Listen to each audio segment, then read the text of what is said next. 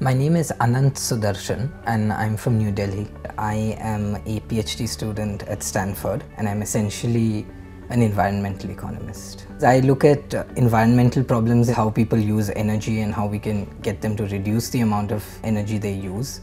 And I use uh, economic methods and models to answer those questions. Most of the things that determine how much energy we use and whether or not we're using too much or too little have very little to do with the technologies that are being used and a lot more to do with behavioral things how much people consume why they consume it things that are independent of how advanced your technology is if you're going to be interested in decreasing your energy consumption or being more environmentally conscious then you need to understand how to change people's behavior and how to model people's responses to different incentives all over the world, people are trying to figure out how we drive consumption down. Places that seem to have achieved this goal become very interesting, not just within the country where this happens, in other countries as well. California shows both very low electricity consumption per capita and also has a history of implementing a whole range of policies and programs. The problem is that in order to decide how effective these have been, you have to understand everything that determines energy use